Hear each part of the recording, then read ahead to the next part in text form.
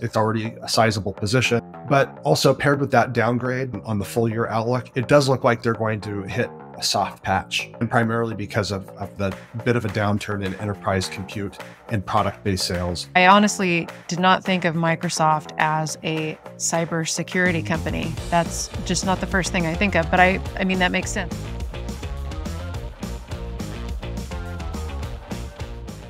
Welcome back to Chip Stock Investor. Thank you to everyone who has watched our recent semiconductor industry video and maybe have purchased the Semiconductor Industry Flow 2024 manual that we published last week. If you haven't had a chance to either watch the video or take a look at this manual, links to the video and the manual are in the description. Also, thank you so much to those who have supported us via Ko-fi or with super thanks here on Google. We appreciate you so much. If you want to donate on a monthly basis, you can join the membership right here on YouTube and you get some cool AI generated badges and emojis to use in your comments. Thanks to your generous support. It makes it possible for us to continue to provide up to date content and education to this community.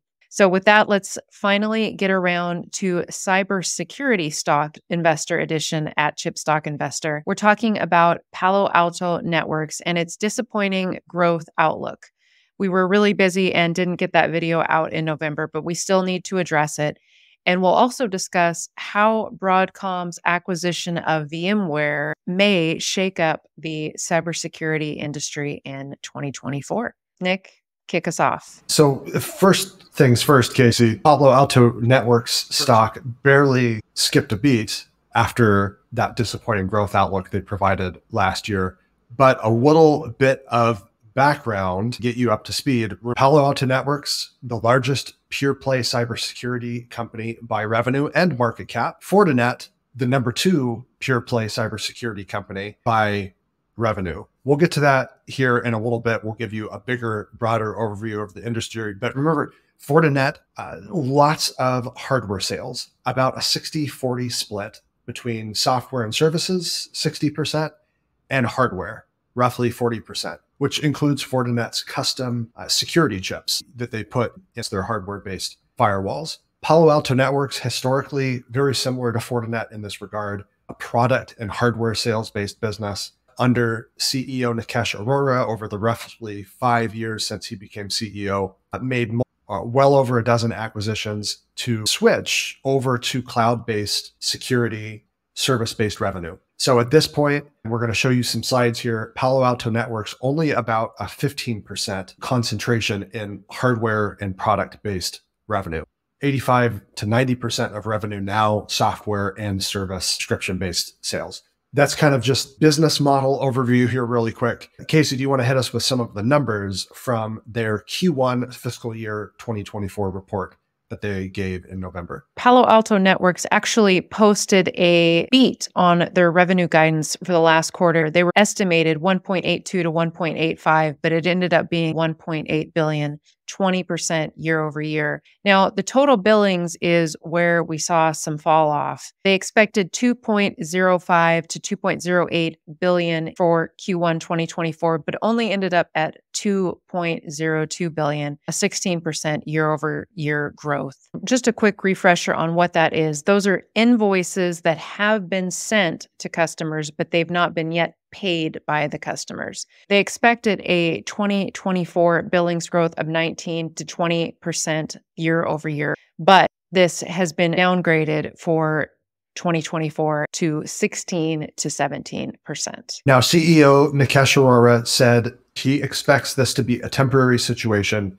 The cybersecurity market still very much a secular growth market. Lots of organizations around the world still way behind updating their security practices for the modern era and especially the cloud era. You can see that in media headlines all the time where lots of organizations have missed the mark, to say the least. Uh, sometimes it's just simple human error that could have been prevented with some policy updates. Uh, sometimes it's actual out of date infrastructure that gets hacked. Whatever the case, probably a temporary slowdown. As calendar year 2024 gets rolling, we think we're going to see a bit of an acceleration in revenue growth for some cybersecurity companies. Here's the slide. where you can see product hardware based revenue 341 million again only expect this to be 10 to 15% of total revenue in the coming year but you can see the dramatic fall off in growth just 3% growth in product sales year over year is the much higher growth in software and subscription services and this is very similar to what's going on with Fortinet as we broke down in our past videos on Fortinet specifically product sales firewalls that go into data centers. Uh, maybe it protects enterprise compute that's non remote data center based compute. That's where we're having the problem. And you actually see this show up in the semiconductor industry as well. Everything related to enterprise compute or even non AI data center infrastructure is down for most chip companies the second half of this year. And it looks like that downturn could last through at least the first half of calendar year 2024. Check out our Marvell Technology Group video that we did a couple of weeks ago, where we break down what's going on there with that company, since they have a lot of exposure to that enterprise compute and market that is now in a downturn. Palo Alto Networks, the stock is currently at just over $300 per share. The market cap is 97 billion as of December 18th and it's up over 200% in the last 36 months. And after that earnings update, the valuation is high. It's 36 times trailing 12 months free cash flow. So, are we adding more to our current position? For us, we're taking a breather on this. Something to think about with this, though, uh, we've owned Palo Alto Networks for quite a few years, our largest cybersecurity holding. So that's one of the primary reasons we're on hold with allocating more money to this. It's already a sizable position. But also paired with that downgrade on the full year outlook, it does look like they're going to hit a soft patch, and primarily because of, of the bit of a downturn in enterprise compute and product based sales. And we're going to take a look at some other cybersecurity stocks instead. Before continuing, let me remind you to hit the like button and subscribe to the channel if this video is helpful as you do your own investment research and increase your knowledge of business and technology. We really appreciate the support as subscribing to the channel helps us continue putting out content like this. Let's pivot away from Palo Alto Networks and talk about Broadcom and its new acquisition of VMware. Now, back in 2019, when Broadcom acquired the Symantec Enterprise Security segment, the remnants of which are now Gen Digital or NLOK, NLOK, formerly Norton Lifelock. The company went about its typical big investment firm modus operandi. It closed down non strategic accounts, like small business ones, presumably, to boost profitability. This was called out by CrowdStrike CEO George Kurtz as boosting revenue growth at the time. Could something similar be in store now that Broadcom owns VMware? Absolutely. You and I both think so. CrowdStrike CEO George Kurtz really likes to call out competitors and what CrowdStrike perceives as their sometimes just not great cybersecurity practices or inferior technology or whatever. Actually, this is kind of a common practice throughout the cybersecurity market, right? CEOs love to get on these calls and talk about how they've displaced one of their competitors in acquiring these new customers. At any rate, yeah, we think something similar could be happening in 2024, like what happened in 2019. Symantec, though, was a much bigger acquisition in the cybersecurity market. Let me explain. So, when Symantec Enterprise was acquired by Broadcom, that was about a $1.5 billion annual revenue pickup for Broadcom's existing infrastructure software during fiscal year 2020. Uh, that acquisition was a total of 10.7 billion in late 2019. So that compares with VMware now. Most of VMware staying at Broadcom to help solidify the infrastructure, enterprise and cloud computing segment. But let's talk about the VMware cybersecurity segment, which is primarily made up of Carbon Black. I'm going to walk you through some of our math that I think will help you piece this together. So, for reference, Broadcom's own infrastructure, software, and cybersecurity business, which is made up of a bit of Brocade, CA Technologies, and Symantec Enterprise, is expected to be about 8 billion in revenue in fiscal 2024, a 4 to 5% year over year increase. The part of VMware, Broadcom CEO Hock Tan says they will hold on to is expected to contribute 12 billion in revenue. So in total, 20 billion total Broadcom software in 2024.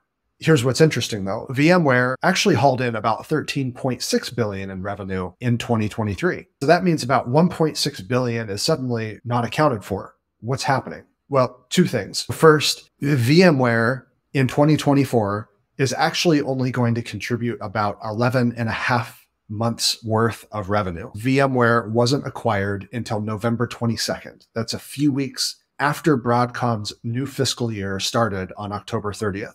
So that effectively reduces a little bit of the full year revenue guidance. Okay. Uh, but then here's the second more important thing. According to Tan on the earnings call, I quote here the non core of end user computing and Carbon Black will be divested. In other words, they're going to be sold or maybe non strategic accounts closed down, whatever makes most financial sense for Broadcom. So the end user computing software is the bigger of these two segments. But for our purposes here, let's talk about Carbon Black. So, Carbon Black is endpoint security software like CrowdStrike, and it was acquired by VMware in 2019. At that time, Carbon Black revenue was about 240 million. Now, assuming a 10% CAGR under VMware, we think Carbon Black is probably doing somewhere in the ballpark of 360 to 400 million in annual revenue. And in fact, George Kurtz, just like he did in 2019 and 2020, has been talking about some of Carbon Black, aka VMware, VMware's endpoint security segment, some of those Carbon Black customers approaching CrowdStrike in recent months because of this pending merger that's now complete with Broadcom, and Broadcom hinting all along that it was probably going to be taking a hard look at some of VMware's non strategic assets that it didn't want. Like I said before, two things tend to happen in mergers and acquisitions. First, some of these accounts start getting antsy early on and start looking for the exit. And second, as Broadcom has now indicated it will do, it's probably going to look for a buyer for Carbon Black. What, what does this mean? I think whether CrowdStrike were to go just Carbon Black or not, some of those accounts are probably going to head for CrowdStrike, which is both the leader in endpoint security sales, as well as the technological leader in endpoint cybersecurity, according to a lot of tech researchers. Taking a look at the last Gartner Magic Quadrant for endpoint security, you can see in that top right box there, Microsoft and CrowdStrike being the leaders and visionaries in this part of the security industry. You can also see some of their competitors there SentinelOne, that we've talked about a couple of times on the channel. Down in the visionary box, you can see Palo Alto Networks and Broadcom with Symantec. VMware is also there. Well, maybe it would be helpful to have another refresher on what exactly endpoint security is. It's pretty simple. This is the way we like to think about it. So you probably have antivirus software in your PC. So endpoint security is very much like just a type of antivirus. The difference though is your personal antivirus on your PC is managed by you from your endpoint. An actual endpoint security platform is a type of antivirus that is managed centrally by like uh, an organization's uh, IT or cybersecurity team. And so they're able to push that to all of the different endpoints that access the company's or organization's data. And so they're actually the ones managing it versus you managing the antivirus yourself at your actual endpoint, at your PC or your laptop or your smartphone or whatever. Does that make sense? Yeah, that makes total sense. Thank you for the refresher. Who's going to benefit from all of this? Let's maybe refer to this magic quadrant first. So we think CrowdStrike, and you're probably picking up the vibes here that is flipping to our favorite cybersecurity stock for 2024, as of this recording, anyways. So, besides CrowdStrike being a big beneficiary, Microsoft is actually giant here. You see them listed in that top right box, like you just mentioned. But it's interesting, this last January, January 2023, uh, Microsoft in their quarterly earnings update said that they had actually brought in 20 billion in annualized cybersecurity sales. That probably includes resales and distribution of other cybersecurity products besides just Microsoft's own. But nevertheless, that 20 billion was up about 33% from 15 billion in 2021. So Microsoft, an absolute giant, That's actually who all the cybersecurity companies, including CrowdStrike, are really gunning for. Let's take a look at that market overall. Kasey, you have the bubble chart that you've put together, painted with broad strokes here, cybersecurity types uh, on the market right now. I have to be transparent here. I honestly did not think of Microsoft as a cybersecurity company. That's just not the first thing I think of. But I, I mean, that makes sense. We have things like Windows Defender on our computer, and it's creeping behind the scenes. Endpoint security has a lot to do with cloud security as well. They they work hand in hand with each other, don't they, Nick? They do. It, it really forms a total complete package for you know this modern cloud era, where you, of course need to protect your apps, your data that's housed in a data center somewhere or in a public cloud. But then you also have to protect the endpoints. The it could be the employees, customers, whoever accessing your app, those especially employees accessing your data. So altogether, that helps form the backbone of a modern cybersecurity architecture. Flipping from your bubble chart, let's take a look at the publicly traded top cybersecurity companies overall right now. We have these categorized or ordered, I should say, uh, from largest to smallest by revenue. And the market cap valuations are all over the board. A lot of this has to do with just flat out revenue growth paired to a lesser extent with margins, especially free cash flow profit margins. But you can see the biggest of the big still way, way far behind Microsoft. Palo Alto Networks, 7.2 billion, Fortinet at 5.2 billion. If we were going to try to pick someone who was going to possibly acquire Carbon Black from Broadcom, from VMware, I would think Palo Alto Networks might be a good fit. You could see them on the Magic Quadrant, but as a visionary, not a leader, up there with CrowdStrike and Microsoft. So I would tend to think Palo Alto Networks might see this as a good fit. Fortinet, not so much, just because they tend to focus on more organic growth. Again, reference our last video on Fortinet, they're kind of taking their platform in a bit of a different direction than endpoints, at least at the moment. And you can see moving down this list already the leader as far as protection platforms at 2.8 billion, but rapidly catching up to the top dogs on this list. Gen Digital, the next one that it would pass up if it continues at its 30% plus growth rate in calendar year 2024. Again, Gen Digital is the remnants of Symantec that Broadcom acquired back in 2019. Few other things in the cybersecurity industry that are going on that we haven't talked about yet things like CDNs or content delivery networks, edge networking, and other internet infrastructure companies like Akamai, Cloudflare, and Fastly. There's cloud observability stocks like Datadog, Dynatrace, Elastic, a bit of cybersecurity from companies like ServiceNow